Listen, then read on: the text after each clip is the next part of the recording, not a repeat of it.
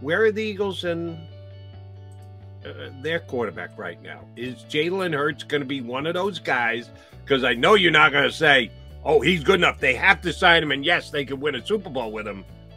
There, he's in that gray area, that nebulous middle area. What would you suggest to Howie Roseman right now? Do they have to sign Jalen Hurts the same way the Cardinals just signed uh, no, no, they don't, and that's my point. This uh, Jalen Hurts is never going to be Kyler Murray, and I don't okay. believe in Kyler Murray. So Kyler so Murray's I'm, above the line. Jalen Hurts is below them. Oh, uh, uh, Kyler Murray is way above Jalen Hurts. Way, way above Jalen Hurts. Um, so you don't like Jalen Hurts at all, because if you if Kyler Murray's way above Jalen Hurts, and Jalen and Kyler Murray isn't good enough to actually make you believe you can win a Super Bowl with him then Jalen Hurts isn't even close.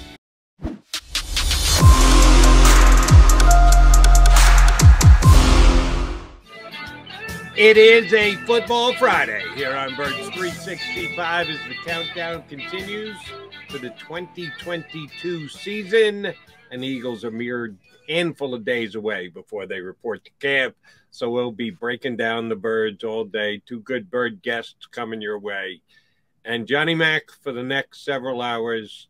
Chances are we'll be talking about quarterbacks. We won't be talking about the punting competition. Mm. If there is one for the Philadelphia Eagles this mm. year, still isn't possible on paper since Eagles don't have a second punter on the roster. No, we will be talking about quarterback because yesterday's signing could change the landscape of quarterback and values in the National Football League. Josh Rosen is the backup quarterback for the Cleveland Browns could reset the entire market. He's a stone cold bust. What the hell? I, I I I went down the road of could Gardner Minshew interest the Cleveland Browns yesterday. Uh, they they should have been listening to me, not signing Josh Rosen. Yeah, Browns yeah. going nowhere fast. Anyway, no, uh, the quarterback that I referred to is, of course, Kyler Murray, new deal it's not. I should. Well, it's an extension, but the first deal has to end first, including yeah. his rookie season, and then pick up five years thereafter. So he's under contract for the uh, next seven years with the Arizona Cardinals at two hundred and thirty point five million dollars, which of course is yeah. 0.5 million. You, you say 0.5. Yeah, that's five hundred thousand dollars, ladies and gentlemen uh, 0.5 million more than Deshaun Watson to make a point. Uh, yes, the quarterback market, and this happens all the time. It's nothing new for this offseason. Happens every offseason. We're just paying closer attention to what's going down now. The quarterback market is ever changing, Johnny Mack. Yes, it is. Uh, so technically, you know, if you if you want to go, obviously the most important part is fully guaranteed money, and that's why Deshaun's contract is better because everything is fully guaranteed. Um, but you know, this one kind of said, "Man, you know what? This got me thinking. Like we we've talked about Jalen Hurts and potential extensions after this season and what it's going to be." My God, I mean, at, I'm I'm at the point where it's number ten now in the NFL is 35 million. That's how quickly things have changed over the last calendar year. You've had Aaron Rodgers, you've had Deshaun Watson, now you have Kyler Murray, Josh Allen back in September, Derek Carr, Matthew Stafford. On and on and on and on. $35 million is the number 10 slots in in the NFL right now from an average annual value perspective. And guess what, Jody? It's only going up. Joe Burrow's down the pike. Justin Herbert's down the pike. You think they're going to ask for less than 230 and a half million? I mean, that's that's the starting point. That's like I'm not taking that. We we John, we got one in the offing. You got to wait at least a yeah, year Lamar. and Lamar Jackson yeah. showed up for Ravens camp yesterday. Whether he he's not holding out, so will he play in and show up and say, "I'm here," but yeah, I really don't want to practice because I don't want to take the chance of getting hurt. So we we need to figure out the particulars. But Lamar Jackson's already got an MVP in his back pocket. Kyler Murray doesn't have one of these.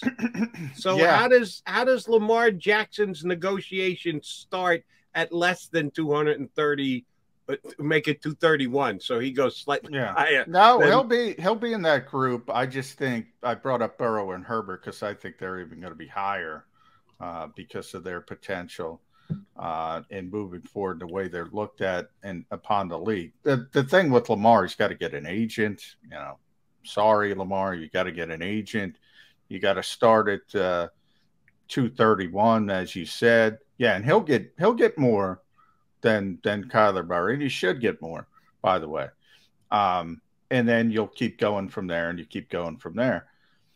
My my point from an Eagles perspective, because that's the most important. That's what you got to do. I mean, if you're the Arizona Cardinals, that's what you got to do. And and for me, Kyler Murray kind of puts it in into a, a a nice little bow for me because he's obviously a very good player. Uh, he's explosive. Uh, he's he's one of the most dynamic players in the league. He certainly turned that franchise around. But I don't know. I don't consider him to be uh, a superstar. I consider him to be a splashy guy who makes a lot of splashy plays that can win games for you. But I don't look at him as the all right, that guy's going to make me consistent year in and year out, year out. But people can debate that. That that that's why I put it into focus to me.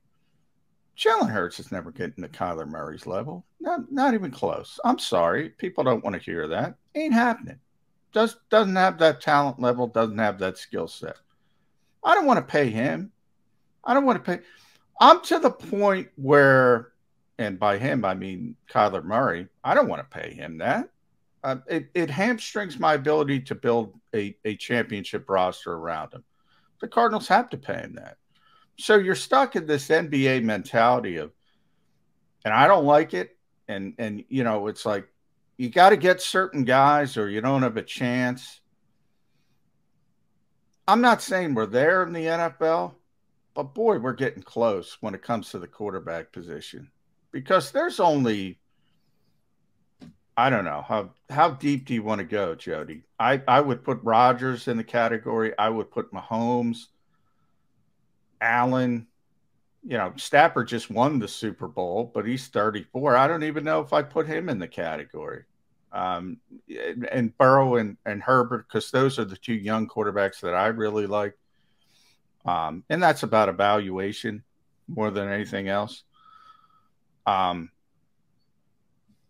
even the next level, the the the whoever you want to put Deshaun Watson, I I, I don't I don't I don't know. I mean, I saw him win four games with the now that was a really bad roster, and he's a really great player, but shouldn't shouldn't I can't picture. Uh, uh, here's here's kind of what I'm trying to say, and I'm stumbling. I can't picture Aaron Rodgers winning four games. I I don't care what you give them. Talk about losing Davante Adams. Talk about losing whoever you want. I can't picture him winning four games in the season if he's healthy. It's not going to happen. It's not going to happen at this stage. Now, as he ages out, it, um, you know, he's still he's getting older, still in the prime of his career. There's certain guys. That's why I say about Peyton Manning. You know, once he hit the ground running, obviously struggled the first year once he hit the ground running, it's double digits, double digits, double digits, double digits, consistent. I always say Indianapolis would start with, hey, 10 wins is going to be a bad season. That's a bad season. You could mark down 10 wins. And if you get to 13, that's a good season. you know, if you're at 11 or 12, you're saying, ah, we struggled a little bit. And then you get to the playoffs and you roll the dice. Boy, I mean, this to me we're going to talk about it because we have to talk about it for another year. Eagles can't move forward with Jalen Hurts. Period. End of sentence. So, oh, but you got to move forward with somebody. Yeah. So you churn it over. That's what I'm saying. You go to the college system. You know, the Eagles don't want to go lame duck. If you want to go lame duck, if you want to go all four years, go all four years. I don't care. Roll it over. Say you got a quarterback for four years. And if he doesn't prove to be that superstar quarterback, and I mean tippy top superstar quarterback, roll it over. Maybe it's five years if it's a first round pick. Roll it over. Don't pay these guys. Don't pay the $35 million quarterbacks of the world. The Kirk Cousins, the Derek Carrs. Derek Carr's ahead of that.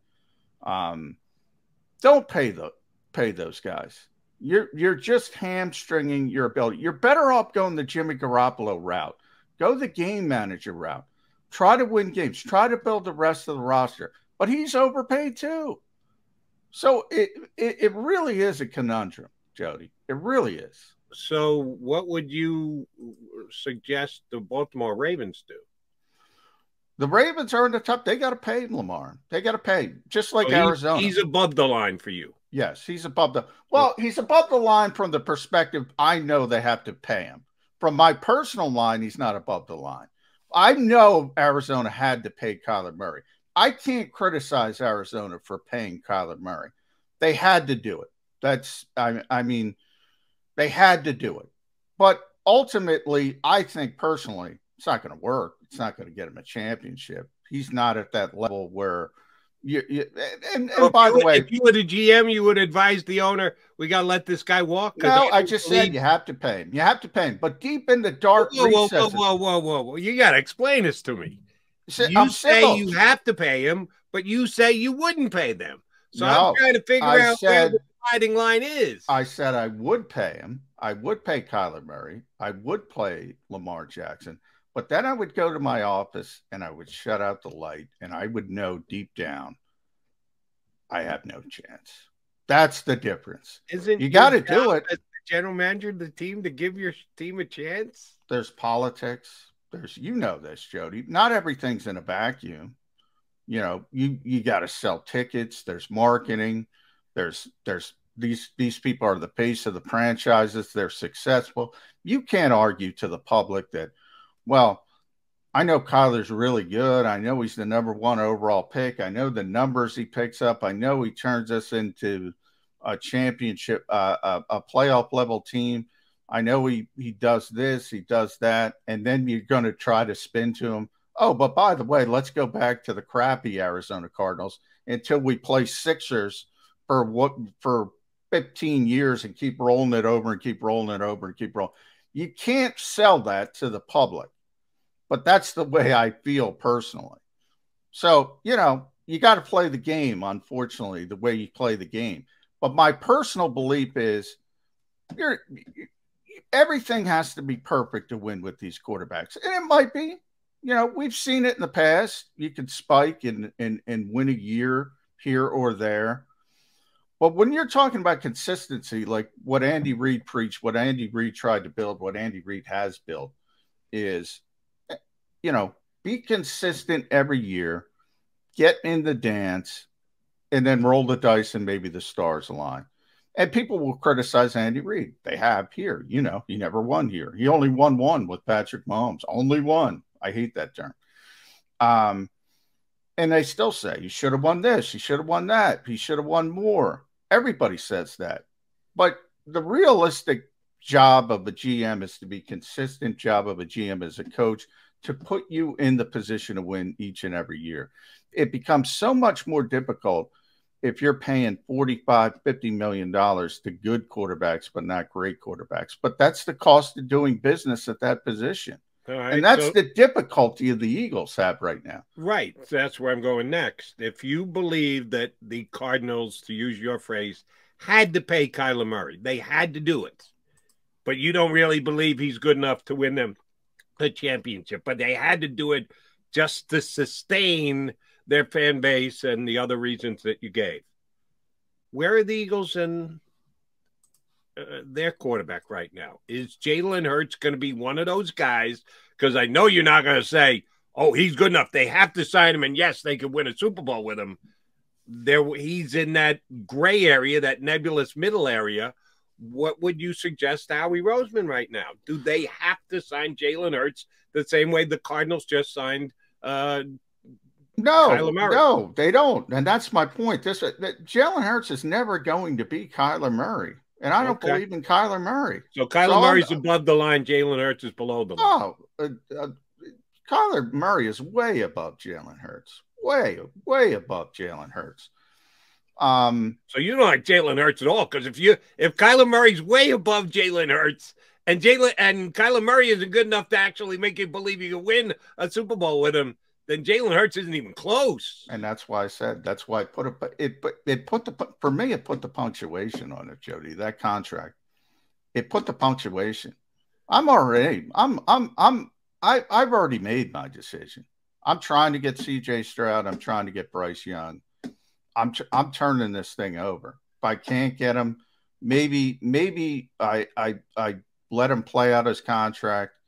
Um, I'm going the college route. I'm turning this thing over. I'm not paying mediocre quarterbacks $35 million. There's yeah. no stinking way.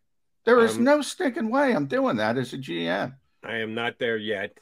Oh, I could get there depending on how uh, Mr. Hurts plays this year, but I know we all want to make decisions this minute. I just and, did. Yeah, and you know, feel free, Johnny Mack. And guess what? if if you're right, if if Jalen Hurts has a lousy year this year, the fact I, that and by the way, I don't think he date, is. Or the July 22nd, on July 22nd, John McMullen got on record and said Jalen Hurts is not getting an extension. There's no way he's staying here. We're turning over. The Eagles are drafting a quarterback next year.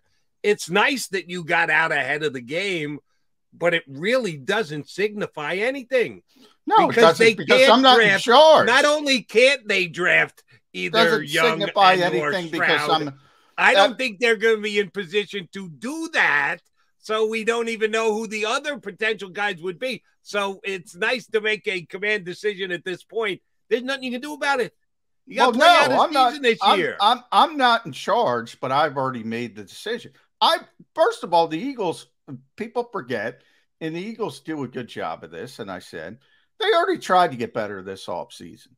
So the old adage is don't listen to what a team does, watch what they do. They wanted Russell Wilson, they wanted Deshaun Watson.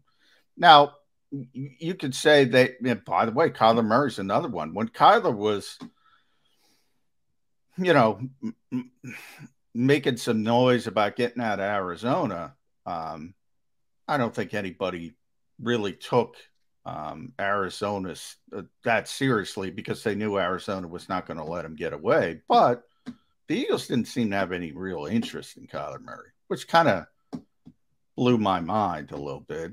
But uh, well, you know, maybe they believe the the Johnny Mack wrecking that this guy's just not good enough.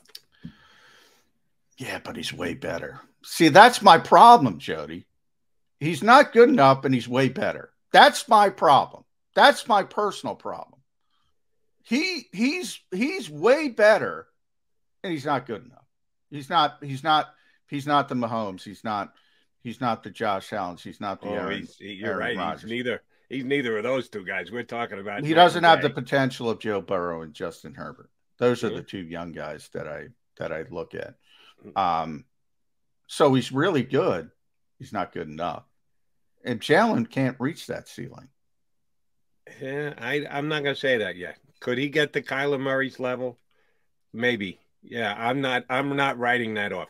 Can he get to Josh Allen's level? No. Can he get to Mahomes' level? No. That's not happening. But I'm not writing off Kyler Murray just yet. And here's the beauty of it: we don't have to decide today. I'm glad that John did. More power to you. But it doesn't matter. They can't do anything. And, and they, the couldn't way, make a commitment to him if they wanted to. It's no, against the rules. I know. And by the way, I'm not saying I'm not saying Jalen's going to have a bad year. I think he's going to have a good year. I think the Eagles are going to make the playoffs. Uh, I his ceiling is not the ceiling you need to pay somebody forty five million dollars, even thirty five million dollars. I don't want to pay that ceiling.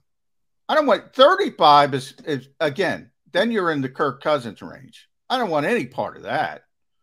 So, look, I, unfortunately, and I wrote this on JAKIB Sports, in a lot of ways, the rest of the league and the way they're paying elite quarterbacks are making the Eagles' decision easy. They're making the Eagles' decision easy. Easy. Okay. Yeah, I'm not ready to go there yet. I'm going to give Jalen Hurts this year to show that he's not good enough. And then if he is, it's an easy decision. We got we got months before we have to get to the end of the year. We got to let him play out this season, and then we got to see. Going to make the playoffs. Then it's only going to get op- obfuscated by playoffs and um, spin and narrative. Eagles know. Eagles already know. They know. Yeah. They know. They they may know, but they can't act on it until after the year is come and gone. He's John McMullen. I'm Jody McDonald with the Mac and Mac guys. All right, you know what's coming up next? John Stolnis, our buddy who does uh, uh, articles for Bleeding Green Nation and his uh, podcast, Eye on the Enemy, as well. Uh, a must listen for you Eagle fans out there. John Stolnis up next here on Birds 365.